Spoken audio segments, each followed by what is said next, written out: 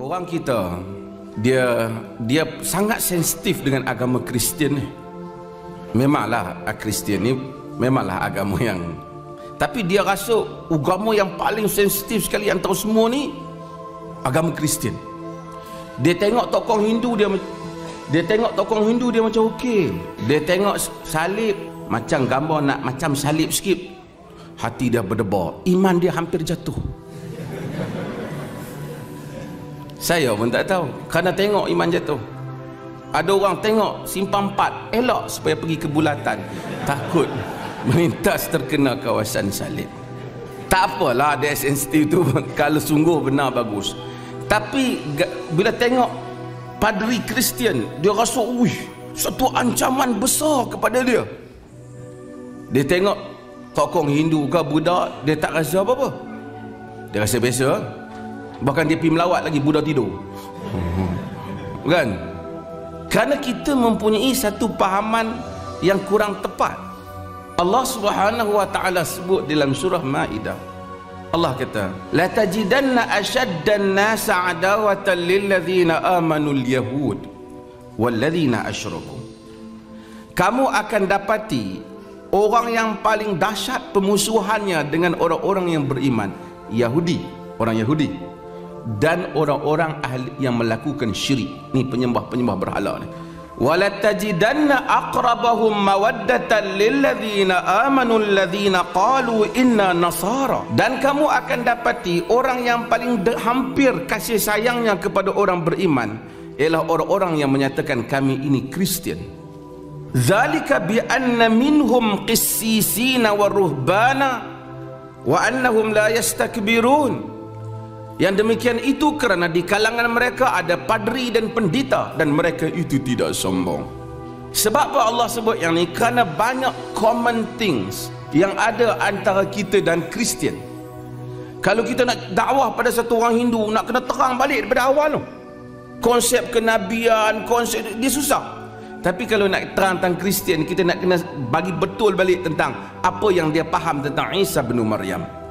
Jesus. Kita faham messenger of God dia faham son of God. Jadi sebab itu ramai orang yang asal Kristian masuk so Islam pasal tak perlu banyak nak terang. Dia dah faham banyak benda. Tapi kalau nak terang susah. Daripada tokong dia tidur sampai bangkit kita bayar nak terang dia. Tapi konsep kenabian konsep ketuhanan banyak yang sama. Sebab itu maka Allah Subhanahu Wa Taala kata dekat mereka paling dekat Cuma approach kita tak betul. Kita tengok patutnya dia tengok kita dia takut. Pasal banyak benda kita boleh terang kat dia. Banyak benda yang Quran counter. Baik jawab balik apa yang mereka kata di dalam apa yang mereka dakwah. Bible itself never support apa yang mereka kata. Tapi kita bila tengok Kristian ketok. Oi kena holy water kata. Terminum holy water sampai tak boleh tak boleh mengucap kata kalau ada holy water sungguh tak boleh mengucap. Ha? kuat Kristian. Orang Kristian bagi minum habislah kat Eropah Eropah tinggalkan Kristian. Gereja-gereja kosong. Amerika mungkin kuat sikit sebab dia negara baru. Tapi di Europe susah mereka nak kempen. Kena bawa gitar Yahanana dalam dalam gereja baru orang boleh datang. Contohlah kan tidak ada. Kena bagi menyanyi baru orang boleh datang. Kalau tidak orang tak nak datang kerana susah. Orang tak kerana satu agama yang tak boleh dipahami tiga dalam satu satu jadi tiga. Maka agama yang paling dekat yang paling hampir ialah Kristian. Tapi kita tak faham dalam konteks ni.